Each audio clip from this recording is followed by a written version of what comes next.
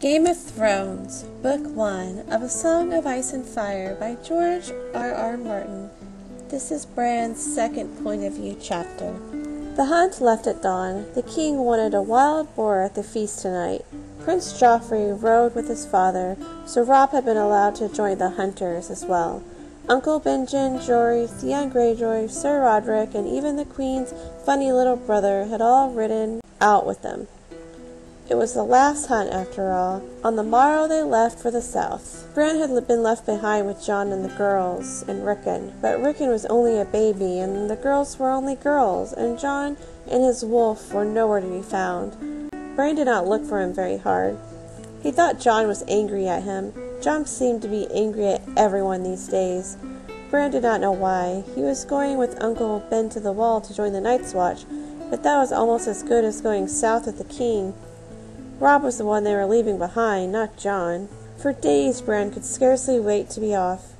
He was going to ride to the King's Road on a horse of his own, not a pony, but a real horse. His father would be hand of the king, and they were going to live in a real castle at King's Landing, the castle the Dragon Lords built. Old Nan said there were ghosts there. The dungeons where terrible things had been done, and dragon heads on the walls. It gave Bran a shiver just to think of it. He was not afraid. How could he be afraid? His father would be with him, and the king would with all his knights and sworn swords. Bran was going to be a knight himself some day, one of the king's guard. Old Nan said they were the finest swords in all the realm. There were only seven of them, and they wore white armor and no wives or children, but lived only to serve the king. Bran knew all the stories.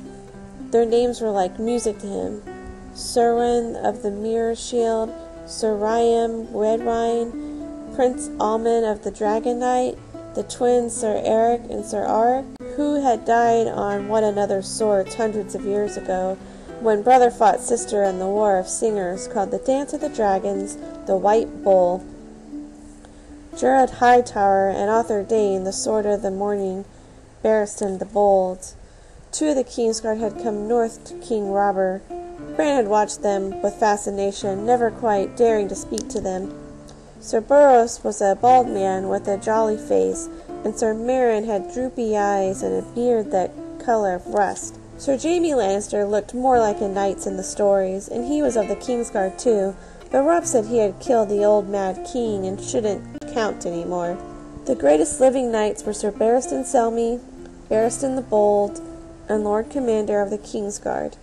Father had promised that they would meet Sir Barristan when they reached King's Landing, and Bran had been marking the days on his wall, eager to depart, to see the world he had only dreamed of and begin a life he could scarcely imagine. Yet now, that was the last day at hand, suddenly Bran felt lost. Winterfell had been the only home he had ever known. His father had told him that he ought to say his farewells today, and he tried, after the hunters had ridden out, he wandered through the castle with his wolf at his side, intending to visit the ones he would leave behind old Nan, the Gage, the cook, Mikken and his smithy, Hodor, the stable boy who smiled so much and took care of his pony and never said anything but Hodor, the man in the glass gardens who gave him a blackberry when he came to visit. But it was no good. He had gone to the stable first and seen his pony there in the stall, except it wasn't his pony any more. He was getting a real horse and leaving the pony behind, and all of a sudden Bran just wanted to sit down and cry. He turned and ran off before Hodor and the other stable boys could see the tears in his eyes. That was the end of his farewells. Instead, Bran spent the morning alone in the Godswood, trying to teach his wolf to fetch a stick, and failing. The wolfling was smarter than any of the other hounds in his father's kennel, and Bran would have sworn he understood every word he had said to him, but he showed very little interest in chasing sticks. He was still trying to decide on a name. Robb was calling his Grey Wind because he ran so fast. Sansa named hers Lady, and Arya named hers after some old witch king in the songs, and little Rickon called his Shaggy Dog which Bran thought was a pretty stupid name for a dire wolf. Jon's wolf, the white one, was Ghost. Bran had wished he had thought of that first, even though his wolf wasn't white. He had tried a hundred names in the last fortnight, but none of them sounded right. Finally, he got tired of the stick game and decided to go climbing. He hadn't been up on the broken tower for weeks with everything that has happened, and this might be his last chance. He raced across the godswood, taking the long way around to avoid the pool where the heart tree grew. The heart tree had always frightened him. Trees ought not have eyes, Bran thought, or leaves that look like hands. His wolf came sprinting at his heels. You stay here, he told him at the base of the sentinel tree near the armory. Lie down. That's right. Now stay. The wolf did as he was told. Bran scratched him behind the ears, then turned away, jumped, grabbed a low branch, and pulled himself up.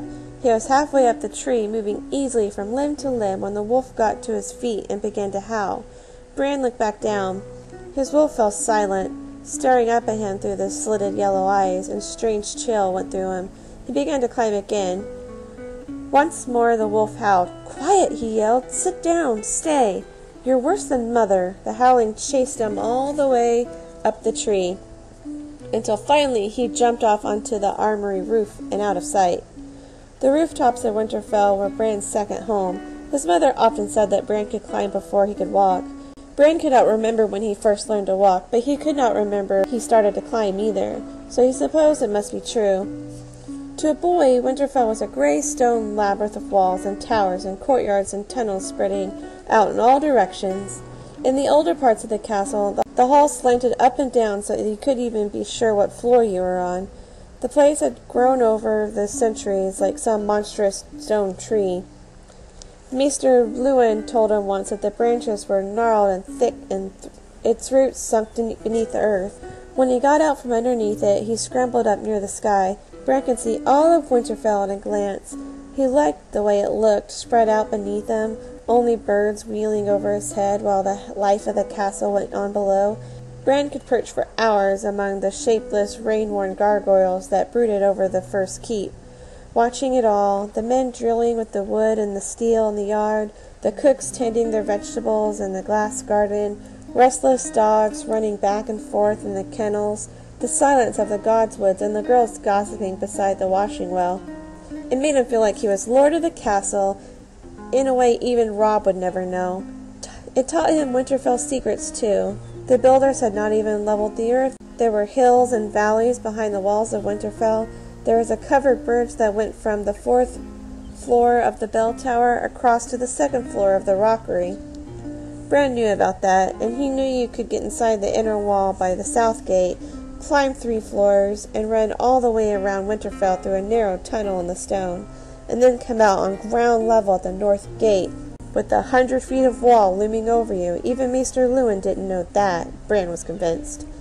His mother was terrified that one day Bran would slip and fall and kill himself. He told her that he wouldn't, but she never believed him. Once she made him promise that he would stay on the ground. He had managed to keep that promise for almost a fortnight, miserable every day until one night he had gone out the window of his bedroom when his brothers were fast asleep. He confessed the crime the next day in a fit of guilt. Lord Eddard ordered him to the godswood to cleanse him. Guards were posted to see that Bran remained there alone all night until to reflect on his disobedience. The next morning Bran was nowhere to be seen. They finally found him fast asleep in the upper branches of the tallest sentinel in the grove. As angry as he was, his father could not help but laugh.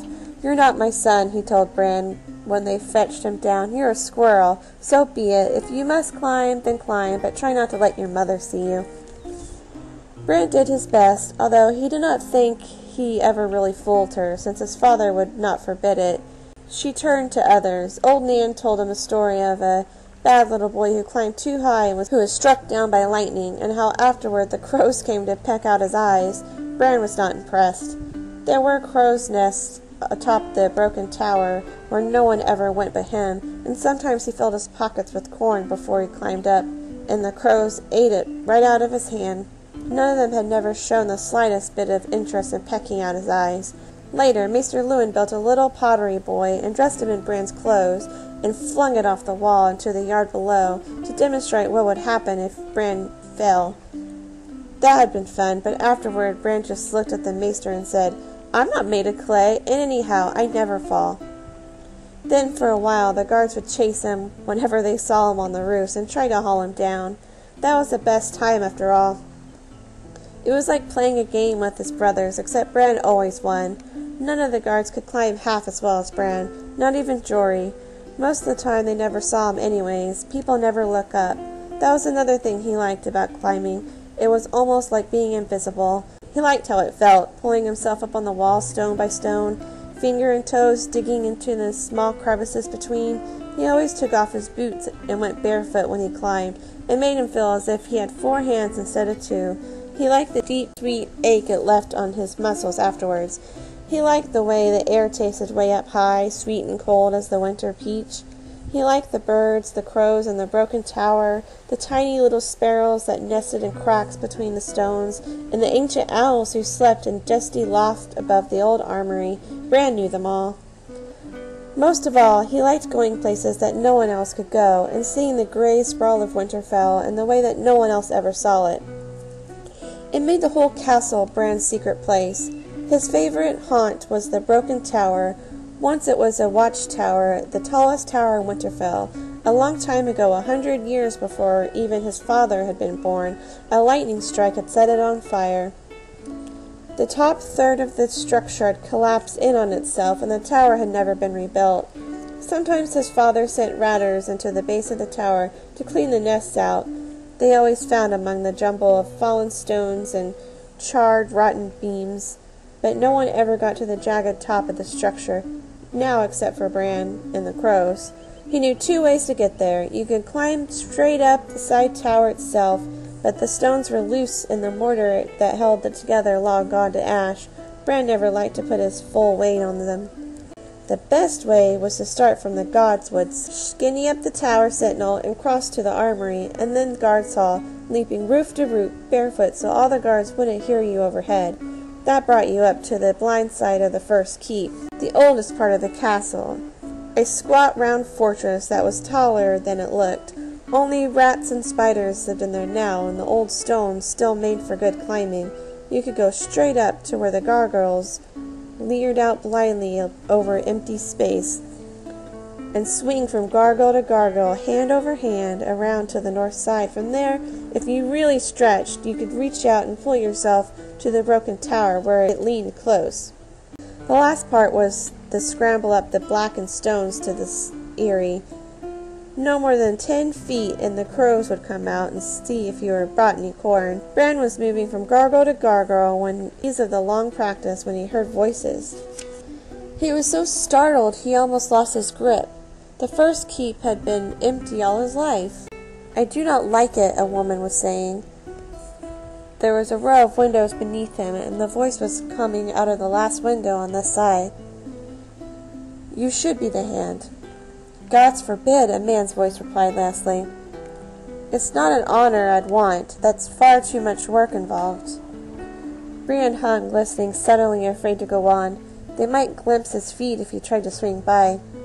Don't you see the danger this puts us in? The woman said. Robert loves the man like a brother. Robert can barely stomach his brothers. Not that I blame him. Stannis would be enough to give anyone indigestion. Don't play the fool. Stannis and Renly are one thing, and Eddard Stark is quite another. Robert will listen to Stark.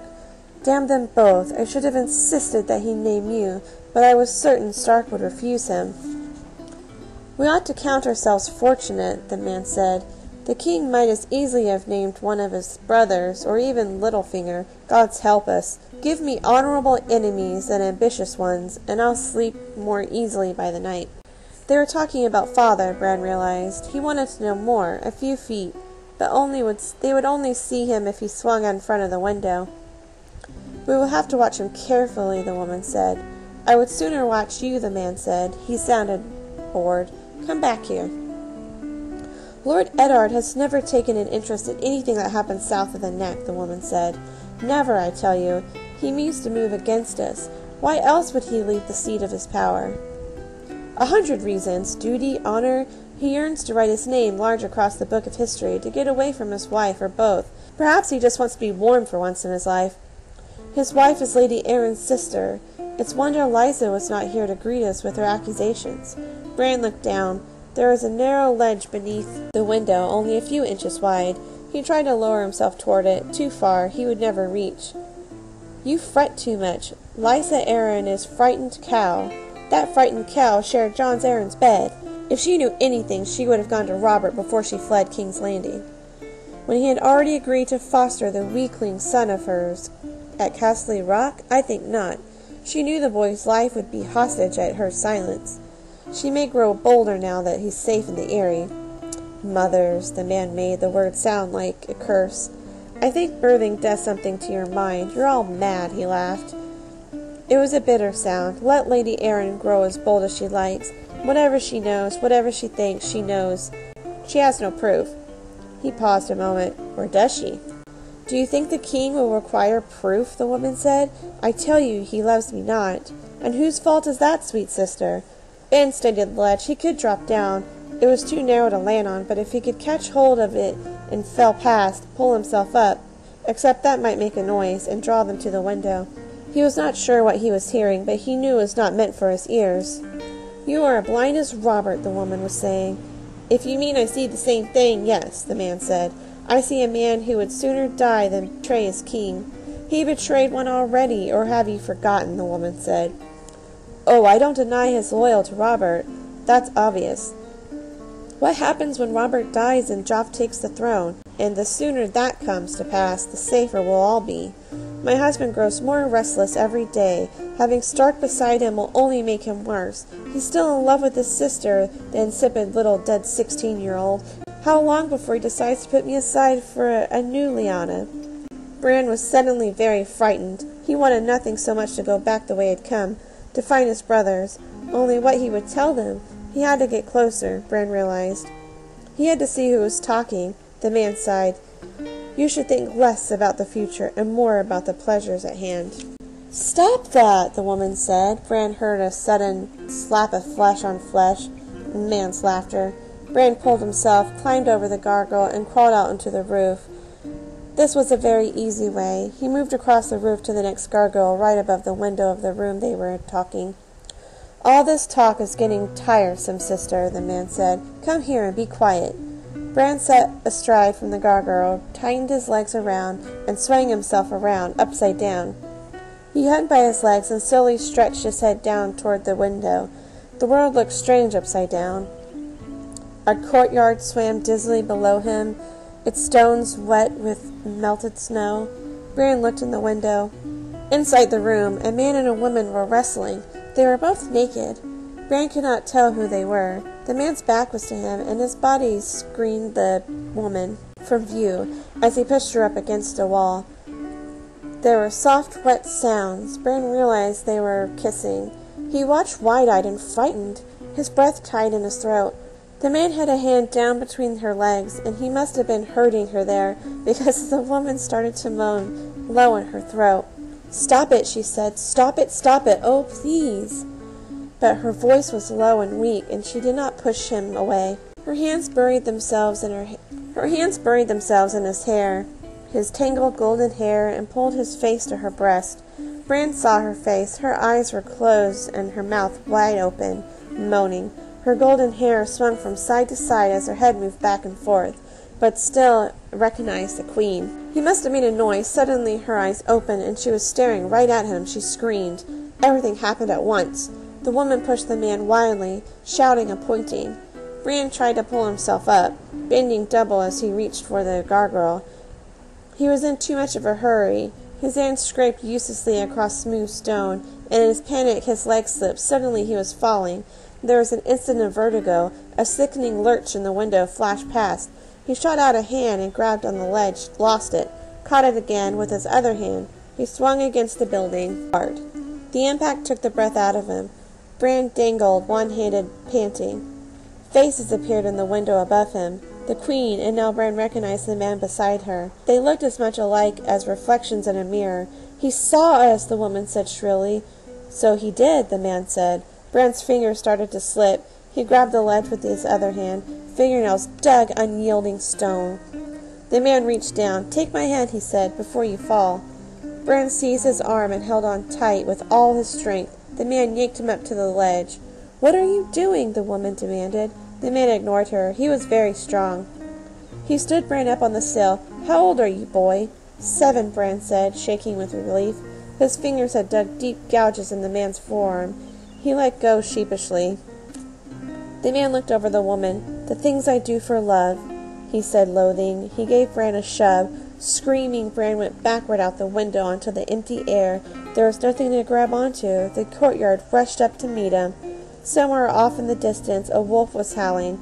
Crows circled the broken tower, waiting for corn.